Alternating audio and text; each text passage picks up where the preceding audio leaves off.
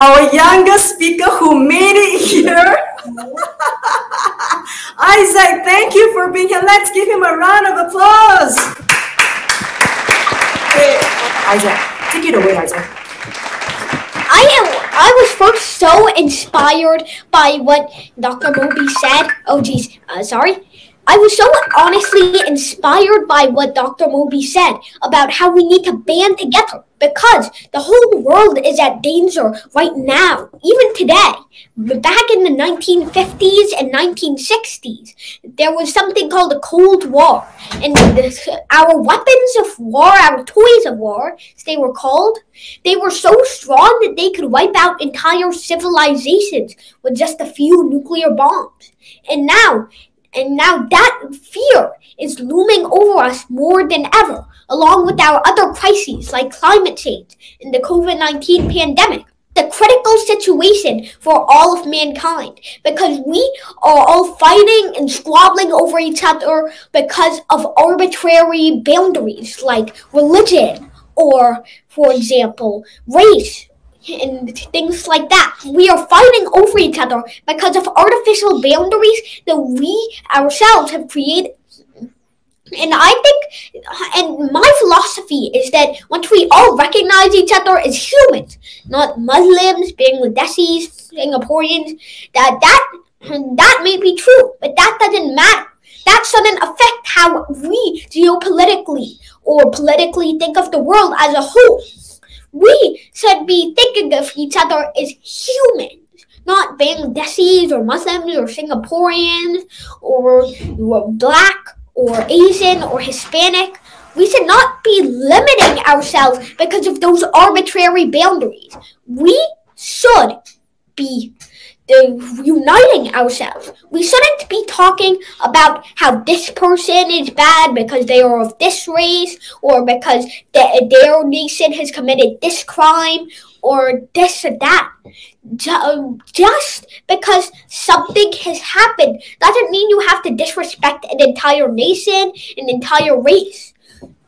So we are all disrespecting each other and killing each other because of our race, our nationality, and our religion. And so this will keep continuing. And I don't want to leave this mess of a world to our future generations. And probably neither do you. We have so many thousands of people dying in the world of poverty, of hunger, of terrorism, of war. And yet we are doing nothing about it to stop or break up the crisis. We need to help our own planet our own nation.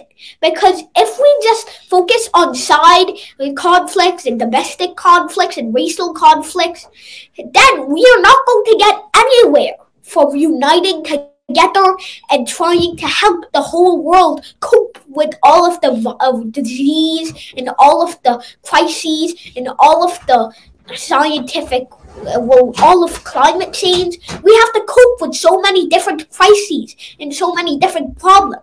And if we keep focusing on this and that, then we are never going to get anywhere with that. Everywhere, and it is it is really rare to have like 200 viewers and people are coming up and they're commenting on uh, Isaac's speech and mm-hmm. uh, also through Dr. Moby's uh, television and Mary is there. Wow. Um, just to let everyone know, um, Isaac received a letter from President Barack Obama himself, congratulating him as the youngest mm, professor.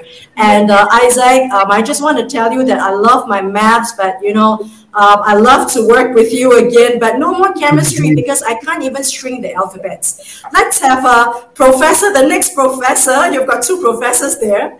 Um, let's have uh, Professor Koh from National University of Singapore. Would you like to say a few words for someone to someone like Isaac, your colleague from another place in the same planet?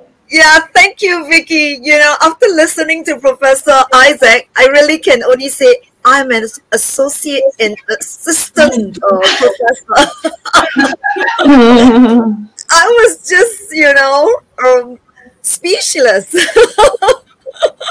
you know, I wish, I wish the daily students that I interact with speak with such conviction, such mm-hmm. love, generosity, you know, when they are in class with me. But unfortunately, because most of my students are really quite um, preoccupied with um, excelling in only one aspect of their life, which is to do well in the studies, you know, get a good job, earn a lot of money, you know, and um, you know, they only have one KPI, which is uh, who becomes the richest is the most successful. I wish I can bring you, Professor Isaac, to my university so that they can listen to you firsthand and you'll be so impressed